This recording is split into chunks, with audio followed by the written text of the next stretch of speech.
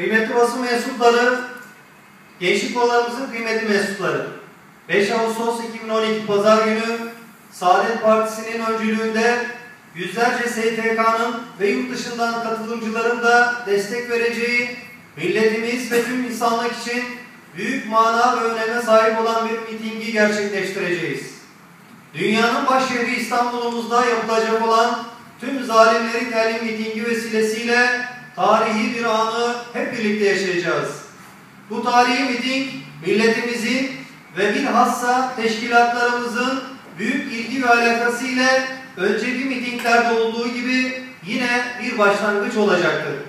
Bu mitingle birlikte ülkemizde olan, üzerimizde olan gözlere ve bizleri yakından takip ettiğini çok iyi bildiğimiz zalimlere, despotlara, müstekbirlere yaptıkları ile yeryüzünün firavunu olduğunu gösterenlere gür bir ses ile İstanbul'dan haykıracağız. Bu milleti ne kadar narkozlarsanız da kendi değerlerinden uzaklaştırmak için envai çeşit projeleri hayata geçirseniz de bu millet dimdik ayaktadır. Bu aziz millet hiçbir zaman zalimlerin yanında yer almayacaktır. Ve asla zulme sessiz kalıp bana ne demeyecektir. Hakkı tutup kaldırma adına her türlü engelleri aşarak zalimlerin oyununu bozacaktır diyeceğiz.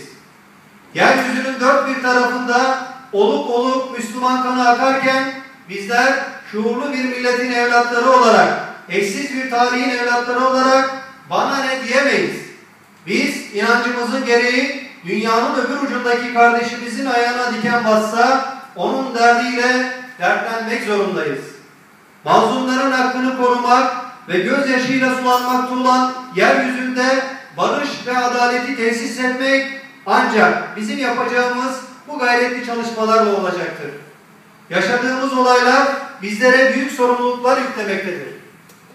Bu mübarek Ramazan ayında çok çalışacağız ve inşallah 5 Ağustos Pazar günü Kadıköy meydanını hınca hınç dolduracak tüm yeryüzü zalimlerine, müstekbirlerine, hainlerine biz ölmedik.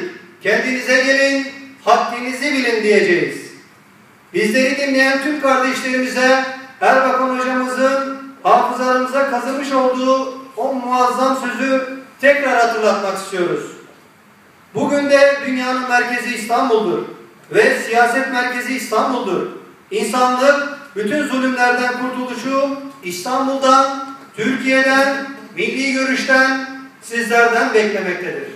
Evet, Cennet Mekan Erbakan hocamız 26 Kasım 2010 tarihinde Eyüp Sultan Meydanı'ndan İstanbullulara aynen böyle hitap etmişti. Biz biliyoruz ki İstanbul ayağa kalkarsa, zalimlere dur derse Anadolu kendine gelir.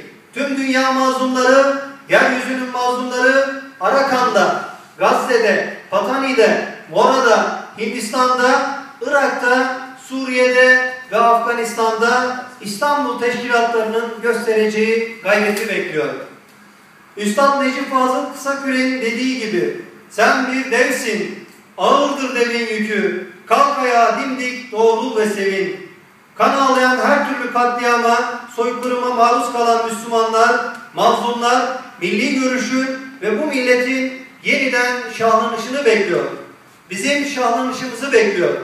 Şimdi Ağustos'un sıcağına, yazın rehavetine, önümüze çıkacak hiçbir enge, engeli aldırmadan samimiyetle, ihlasla öyle bir besmele çekeceğiz ki Rabbimiz samimiyetimiz hürmetine, Ramazan hürmetine yapacak olduğumuz çalışmalara bereket verecektir inşallah. Bu tarihi mitingle ilgili İstanbul Gençlik Kolları olarak il, ilçe ve tüm mahalle teşkilatlarımızla tüm kademelerimizde zorlu bir zaman diliminde hiç fedakarlıktan kaçırmadan miting öncesi ve sonrası görevlerimizi eksiksiz yerine getireceğiz. İlçe başkanlarımız sadece miting görevli sayısıyla yetinmeyip gençlik olarak ilçelerinin miting katılım sayılarına mutlaka katkı sağlayacaklardır. 5 Ağustos Pazar günü yapacağımız miting hem ülkemiz için hem dünya Müslümanları için tarihi öneme sahip bir miting olacaktır. İşte bu sebepten dolayı tüm teşkilat kademelerimizden sadece yapmaları gerekeni değil, yapabileceklerinin en iyisini yapmalarını istiyoruz.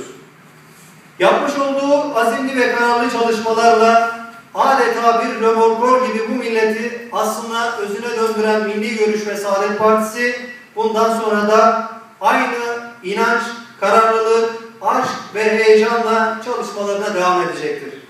Unutmayın, hak yolda harcanmayan her şeyin iki katı batıl yolda gider. Yaptığımız işe önce inanacağız.